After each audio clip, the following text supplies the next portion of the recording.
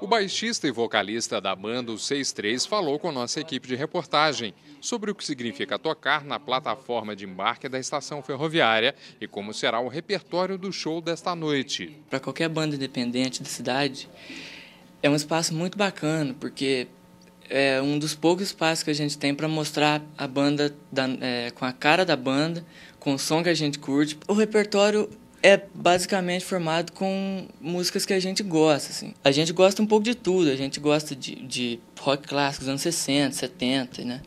Mas hoje a gente escolheu focar um pouco no, no, no rock anos 80 Rafael diz que a fase agora é a de finalização do primeiro CD da banda e nos mostra um pouco da música, intitulada Fica para Outra Vez, e conta a história de um rapaz que vivia em frente à televisão, hipnotizado, sem fazer nada. A gente tá com 10 músicas já prontas e gravadas.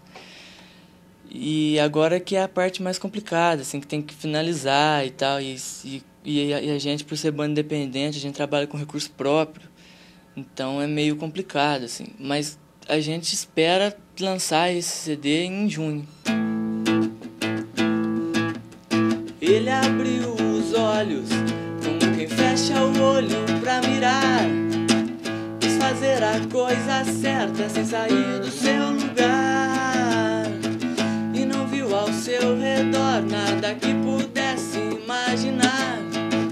Quis fazer a coisa certa, mas por onde